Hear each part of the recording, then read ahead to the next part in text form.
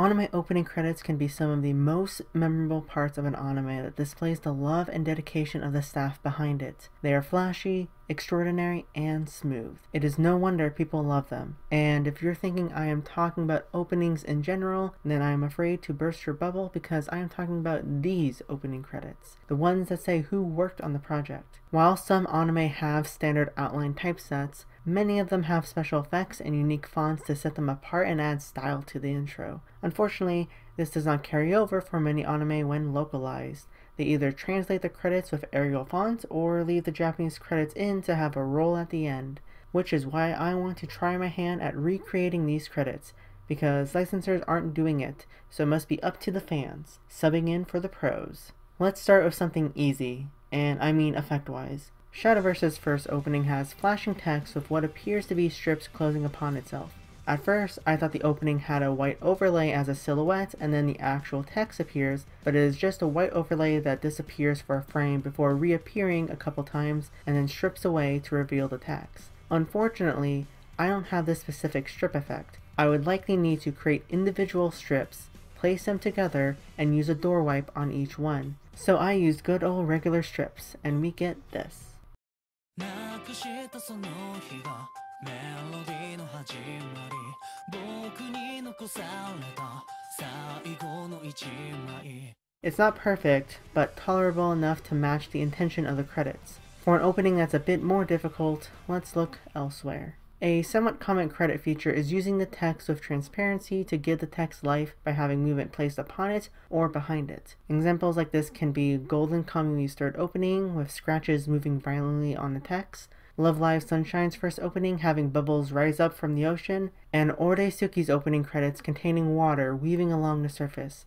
I would love to do Love Live Sunshine's opening here, especially since the English credits for it are, uh, questionable. It appears the text have bubbles for each character and my computer does not have the processing power for that. Oresuki it is then. Woo. Something else I should mention is that I do think credits have a creative component to them that adds meaning to the anime. For Oresuki, all of the girls are named after flowers and the boys are named after nutrient givers, such as Joro being a watering pail, Sunchan being the sun, and Hose-kun being a hose. Man, there has to be an innuendo joke there somewhere. But since the credits are reflecting water, I believe it symbolizes the staff themselves giving life to the characters. And if you're thinking I'm looking into it too much, it's not that deep, well, too bad. I had to look at the credits frame by frame to make sure my edits were frame perfect. This ain't a speed run anymore, technically it never was, but I'm not going to gloss over these details just to have lazy work. So, the credits have a weird wave transformation to let the text in and out. I had no idea what they used, so I did Z-Wave. Then there are some credits having light on them. I think it is because the typesetter took liberty with the effect on where the sun bounces off the characters, so that in certain shots it adds shine to the text. So I added God rays. Then there is a blur and fade ins and outs. After compiling them all together, you get this.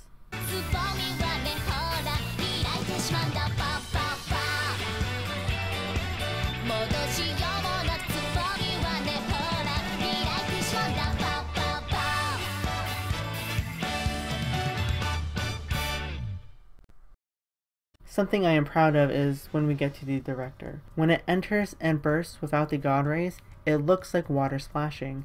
It didn't match the Japanese credits perfectly, but I thought it looked cool specifically for the director as the text has water inside it. What would you call it? Symbolism? Creativity? Genius? I don't know, but it's effing rad. With that out of the way, let's challenge myself once again. I'll do one where the text is integrated into the animation. That's right, we're doing Sore Machi, Bungo Stray Galilei Donna.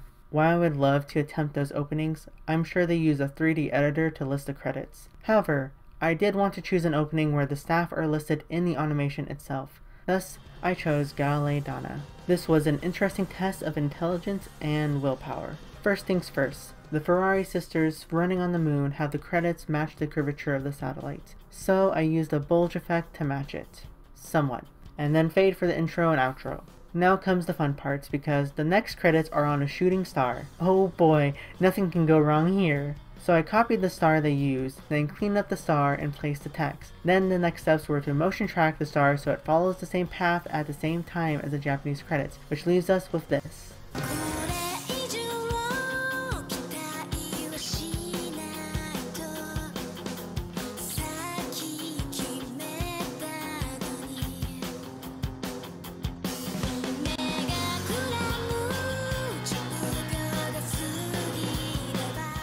Cool, right? Following that is Hazuki in a college lecture. The credits match the wall to blend in flawlessly. This is probably the easiest of the bunch where I wrote the credits and used the gradients to match the text color. I switched the perspective angle so it would align with the wall and then lower the transparency a bit to appear more seamless. After this is Kazuki's shot where the credits are on the wall scrolls. I wanted to maintain the verticality of the text so it was still legible, but I had to cramp the text in together, unfortunately.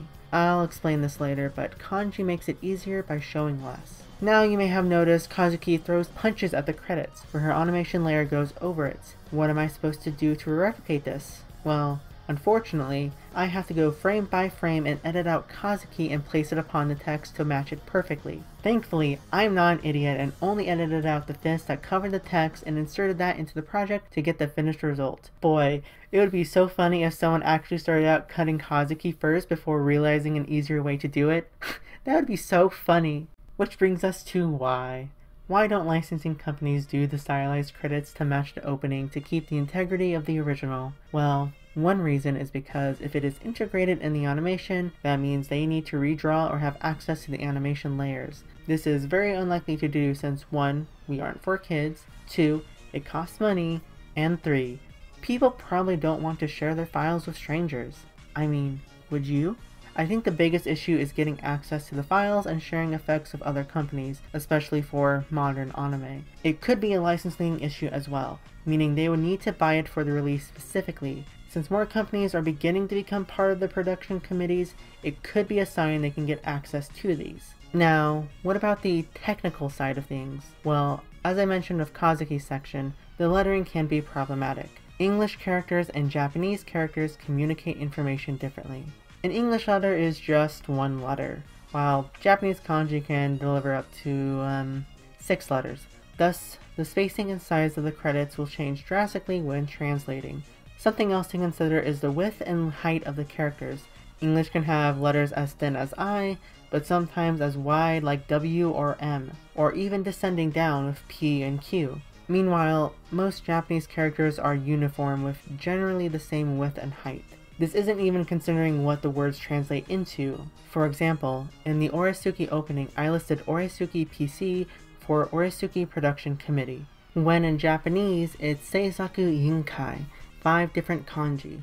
I wouldn't be able to cram it in unless I moved it over or added another line, disrupting the flow of everything. Then comes the names. Oh boy, the names. Since kanji can be read differently, that means finding the correct reading can be difficult. The best way is to ask the person up front or the director or publisher that has a phonetic reading of the staff's names. Yet with so many animators on productions, this can be lost in the crowd of discerning who is who. For instance, the Shadowverse opening had a couple names that could be read differently. One such example is chief producer Shigenobu Sato. I was pretty sure Sato is correct given my video on the Squash's production history, but Nobu could be read in multiple ways. Kuro, Yoshi, Niho, Kun, there is a multitude of ways. I tried using the anime staff database on AtWiki, but that didn't help, and entering it in on Google just gave me a bunch of people. It was only when I entered anime in English with the name did I get a French page for their work on Demon Slayer, and cross-referencing it with Anime News Network made it prove true. Thus, another hurdle for English credits and anime openings. However, a more prominent issue is the video quality itself. While subtitles can be turned off or on, credits are usually hard-coded into the image. This can create small distortions in the image and leave compression artifacts. These are pixels that appear when finalizing a video, and each time you go through this process, it begins reducing the picture. Since you aren't getting the highest quality experience, why bother editing them? Just play a credits roll at the end with everything listed. There is the possibility of soft subbing the credits in, but it isn't feasible. While captions can work for soft subbing, if a screen or player has the ability to change font sizes, it can displace the text. That's not accounting for older televisions that can't do that. And those are some barriers to getting translated anime opening credits.